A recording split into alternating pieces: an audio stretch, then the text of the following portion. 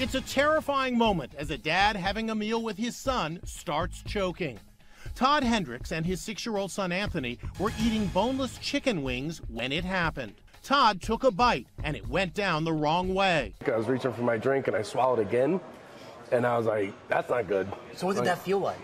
Uh, like you can't breathe, real fast. His little boy wasn't sure what was going on and continued eating. It's scary. You're looking at your kid, you're choking, you're blacking out. That's not fun. Look what happened next. The guy sitting with his son at the next table sees something is wrong and jumps into action.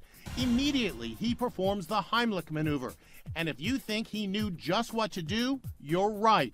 He's an off duty New Jersey state trooper. As soon as I heard the pound on the table, uh, what I thought was, because I heard silverware shake, I just kind of looked back, and as soon as I looked back, I could see he was fully red. How are you coming, man?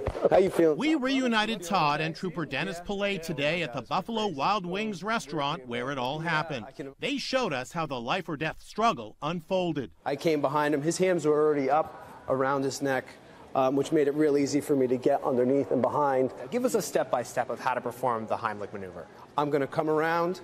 I'm going to make a ball with my fist the other hand, but first I'm going to feel where your solar plex, so, solar plex is. I'm going to get right underneath it and push. And then you're going to make thrusts going up, and it's going to push. You'll feel the, I don't know if you felt it, you'll feel the air. Right. So you push hard enough, it's going to dislodge anything that's in there. Useful information we all need to know in case you don't have a hero trooper at the next table.